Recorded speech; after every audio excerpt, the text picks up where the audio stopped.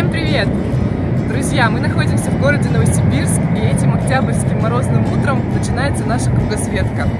И как символ начала этого путешествия мы оставляем вот здесь, в районе аэропорта, такую вот записочку, которую мы планируем обнаружить здесь через два месяца по возвращении. Ну, надеемся, по крайней мере, что она все еще будет здесь.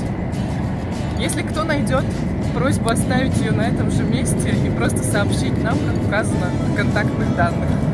Ну все, теперь нас ждет самолет на Дубай. Наш маршрут Новосибирск, Дубай, Маврикий с 10-часовой остановкой в Дубае. Что ты думаешь об этом городе? Я пока не знаю, мы только приехали. Но пока очень-очень жарко. И очень много машин на дорогах. Еще у нас вот такой водитель.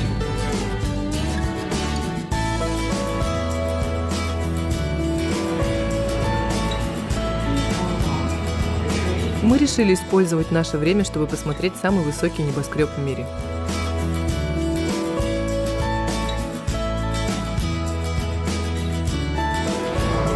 Немного прокатились мы на метро в Дубае. Такая интересная особенность, что здесь есть вагоны для женщин и детей отдельно. Ну и есть также смешанные вагоны. Вот мы ехали в смешанном, но если женщины не хотят, чтобы к ним кто-то прижимался, они вот садятся в такие вагоны. И также очень приятно, всем мне уступали место и не успокоились, пока я не села. Вообще я скажу, что я не любитель каменных джунглей, таких вот небоскребов, когда все-все в городе так плот- плотненько да, застроено. Но здесь, конечно, глаза просто разбегаются, и такое величие в этом во всем чувствуется. Вот он Бурж-Халифа, самый высокий небоскреб в мире. Его высота 828 метров.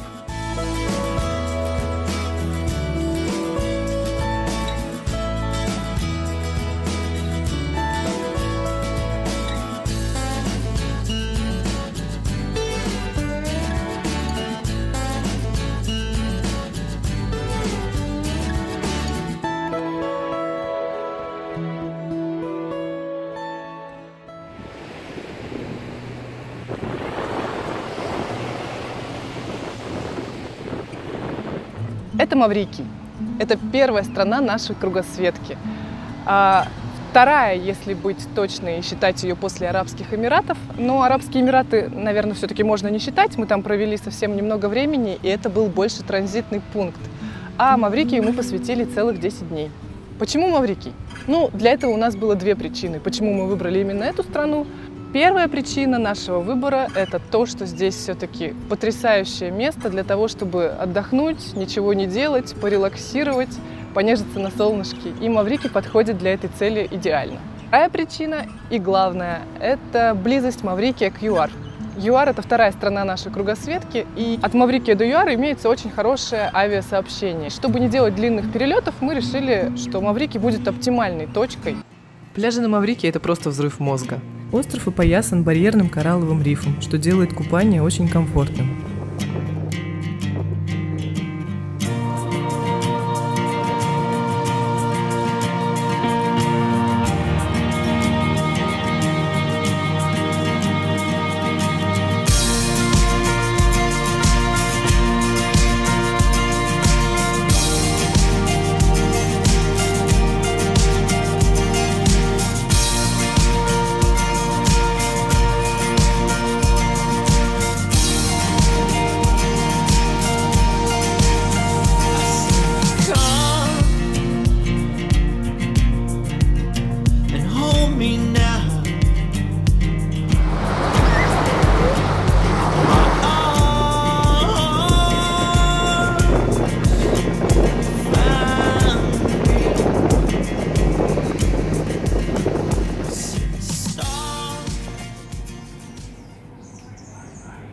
Что ты тут делаешь?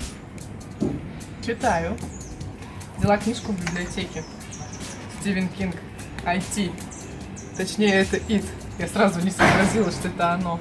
Угу. И что Можно там? найти вот такие прикольные сюрпризы. Сейчас покажу. Класс! Опа. Интересно. Да. Оно. Это наш друг, краснощекий Бюльбюль. Он регулярно посещал наше жилище и приводил с собой друзей. Когда нам надоело валяться на пляже, мы взяли машину.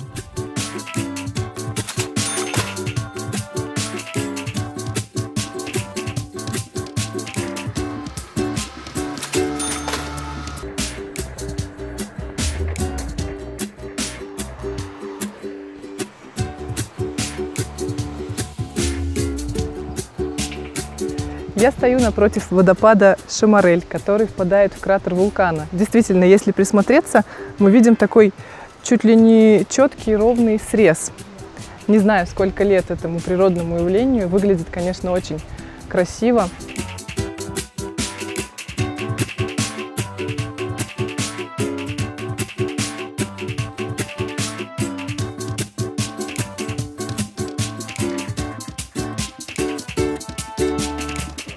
Вот такая достопримечательность есть на Маврикии. Она называется «Семицветные грунты Шамарель».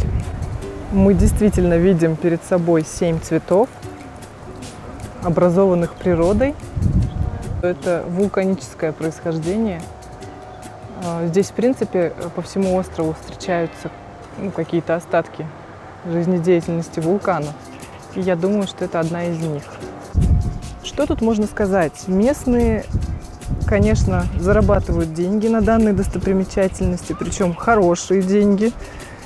Ну вот, на Маврикии немного достопримечательностей, это одна из них. И я думаю, надо же как-то жить на туризме острову. На самом деле это не такой большой кусочек земли, ну, но красивое, интересное явление.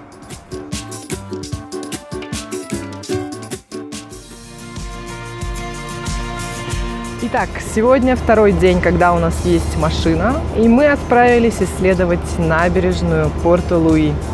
Ну и вообще сам Порт-Луи. Довольно-таки красивое место. Мы, правда, с трудом сейчас нашли, где припарковаться.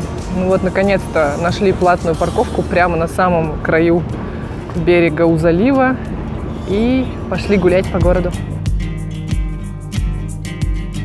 in my Маврикии можно говорить, делая скидку на масштабы острова. Если мы говорим, что такая большая набережная, то значит она, ну такая набережная. На самом деле здесь все очень небольшое.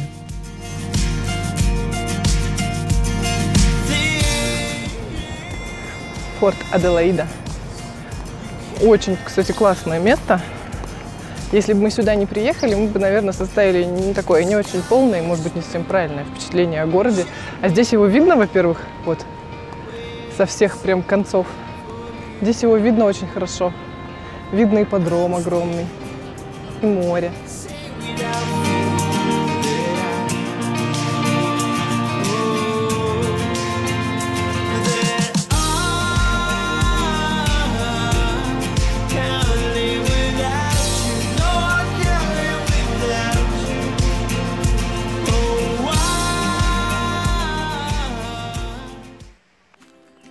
Одно из интересных мест, где стоит побывать, это ботанический сад, один из старейших в мире.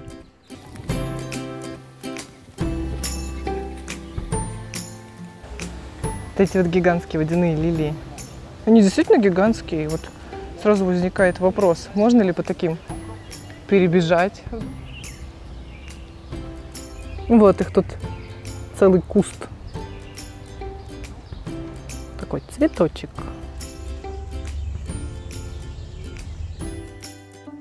А вот тот самый африканский баобаб.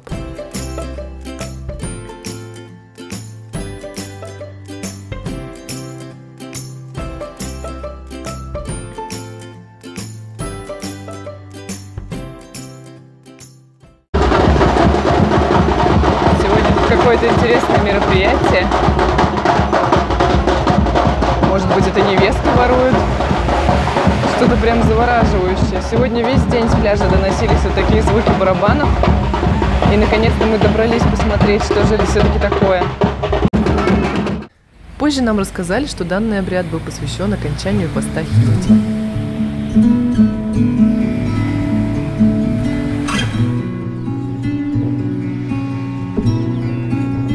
А теперь о приятном. На днях в Инстаграме мы разыграли конкурс. Это была вот такая вот открытка с Маврики. А, конкурс заключался в том, чтобы угадать следующую страну нашей кругосветки.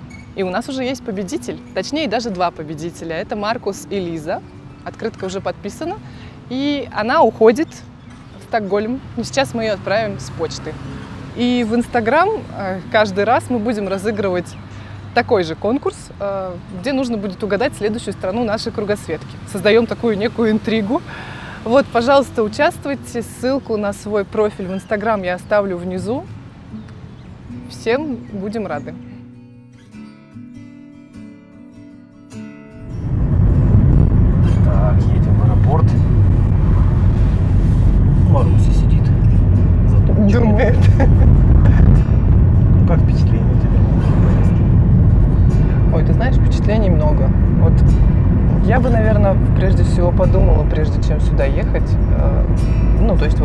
Есть ли смысл?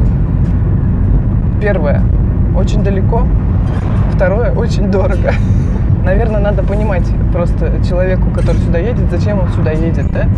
На остров с экзотическим названием, который где-то очень далеко находится, это, ну, в принципе, это интересный опыт, и здесь красивая природа, есть что посмотреть. Ну, это опять же в основном такой пляжный отдых, да. Ну, хотя вот мы разнообразили, да, свою активность. Мы машину взяли с тобой, объездили здесь все, потому что просто лежать 10 дней это тоже не очень вариант.